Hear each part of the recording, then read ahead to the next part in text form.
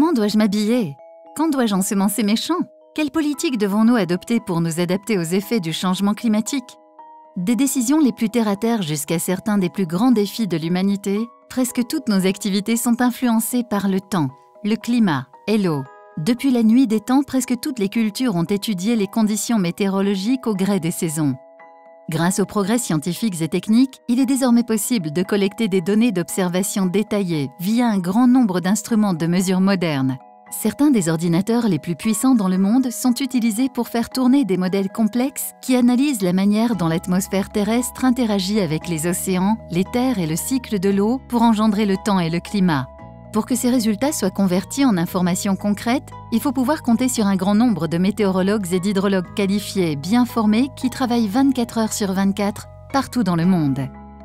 Grâce au dévouement de ces passionnés, les décideurs disposent de prévisions et d'avis de grande qualité qu'ils peuvent intégrer aux processus nationaux de planification et de prise de décision. Les informations délivrées par les experts en météorologie sont aussi précieuses pour des secteurs clés de l'économie, comme la navigation et le transport aérien, qui comptent sur les prévisions pour accroître la rentabilité et réduire les risques, ou comme le tourisme et les loisirs, qui dépendent des prévisions pour les activités de plein air et pour assurer la sécurité des personnes. Dans le secteur de l'agriculture, les météorologues aident les agriculteurs à déterminer le moment optimal pour les semailles et la récolte en fonction des conditions saisonnières prévues.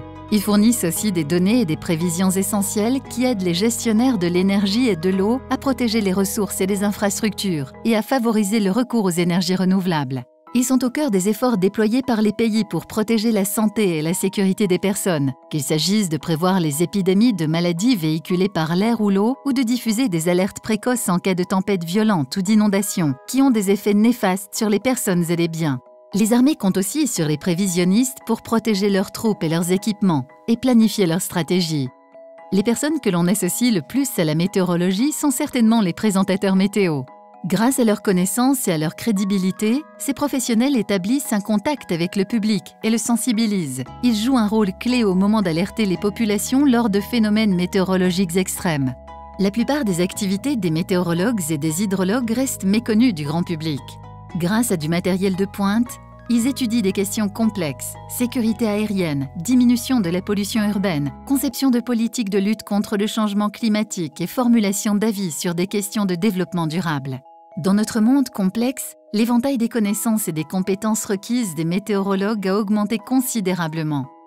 Ils doivent non seulement se tenir au courant des progrès scientifiques et techniques, mais certains d'entre eux doivent aussi posséder des compétences hautement spécialisées, par exemple pour convertir les données brutes en cartes ou graphiques à des fins spécifiques. De plus en plus, ils doivent pouvoir informer le plus rapidement possible un large éventail d'utilisateurs sur les conséquences potentielles des aléas météorologiques, climatologiques et hydrologiques. Les météorologues et les hydrologues travaillent pour un grand nombre d'employeurs, services météorologiques nationaux et instituts de recherche, entreprises privées, aéroports, services de police, etc.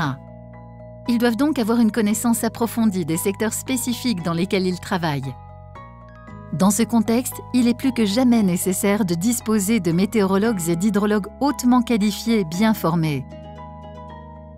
Pour attirer dans ces domaines des hommes et des femmes recherchant un emploi passionnant dans lequel s'épanouir, les gouvernements doivent investir davantage dans les programmes universitaires, les formations spécialisées et la formation continue. L'Organisation météorologique mondiale dispose des outils nécessaires pour répondre à ces besoins grâce à son vaste réseau constitué d'environ 60 partenaires pour le développement, d'organismes nationaux et de centres régionaux de formation professionnelle. Ensemble, ils dispensent chaque année des formations adéquates à des milliers de professionnels, notamment dans les pays en développement où la demande est élevée. Dans la mesure où notre monde continue de changer rapidement et de se complexifier, les météorologues, les climatologues, les hydrologues, les prévisionnistes et les présentateurs météo de demain joueront un rôle toujours plus important dans les efforts déployés pour guider le développement socio-économique et favoriser le bien-être des populations dans le monde.